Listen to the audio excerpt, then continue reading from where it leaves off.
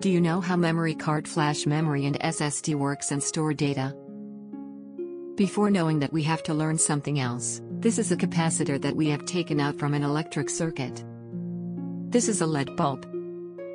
When we attach LED bulb with capacitor it did not turn on. That means there is no current in the capacitor. Let's attach our capacitor with our 5V battery for a second. Let's separate them. After that we will attach it with our LED bulb again. Experience what happened. Let's attach it. Great. Our bulb flash for a second and then have a red light. It is still turn on. Let's separate them it turns off now. That means when we attach any capacitor with electric current it charged and have voltage. Engineers use this property of capacitor to build memory. When it have current inside it gives 1 value when it have no current it gives 0 value. This is only a single capacitor. If we have a lot of capacitor we can store more data in the form of 0 and 1. Let's attach all the capacitor in one line.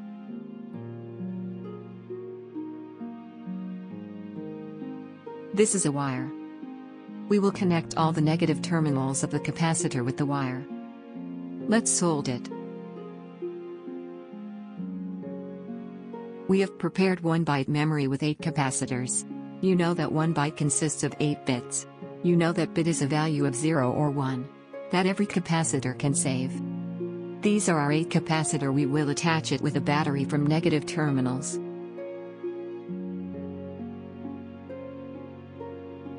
We will attach this little wire with battery's positive terminals so we can store data.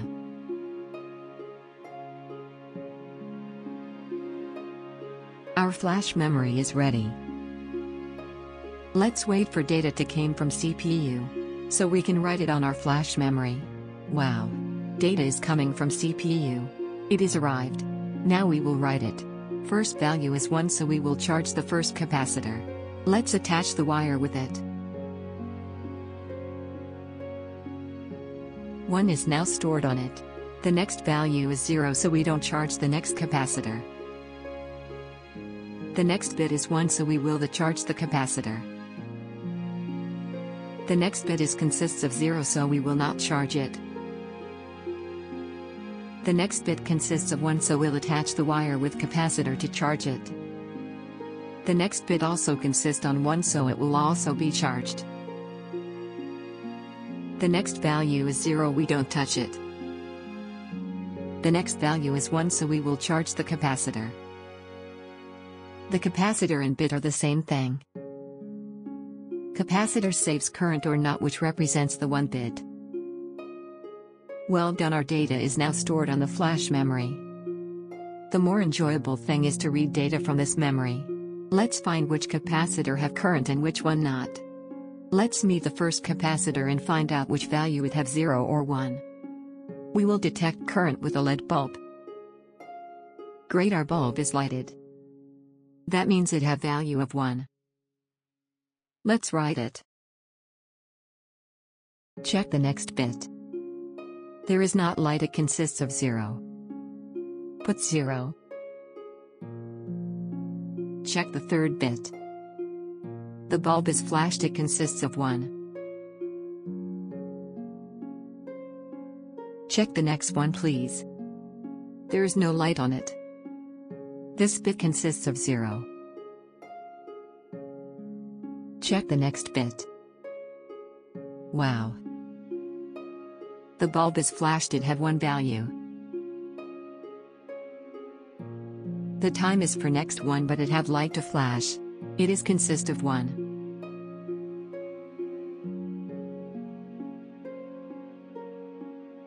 Now the time for next bit but it don't have electric charge so it consists of 0.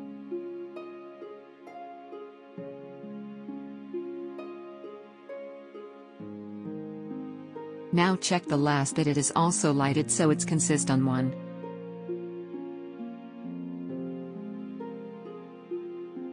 So let's compare the data to the earlier data is that same as we have wrote earlier. Great. We have get the same data that we have entered earlier. That means our memory is working well. Friend if we have always to feed data manually in every bit every time? No. No. In computer this task is being performed by a controller. Friends we have put the controller in it. It is now controller's duty to check every bit and write and read data on it. And then send data to CPU by this wire.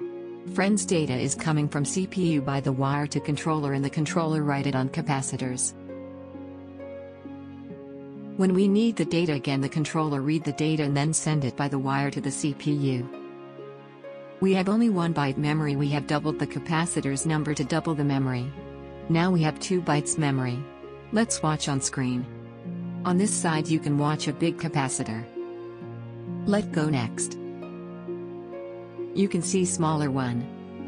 Little one little one. Go. At end very teeny capacitor. As the science and technology is developing, it is becoming smaller and smaller. At the end it very small. Even you cannot see it easily with naked eye. Even at zoom you cannot watch it clearly. Friends in flash memory there is capacitors but they are so teeny that you cannot even watch it. This size is decreasing day by day. Friends if this video is helpful for you please like us we will be very happy if you like our work. Thanks you very much for watching.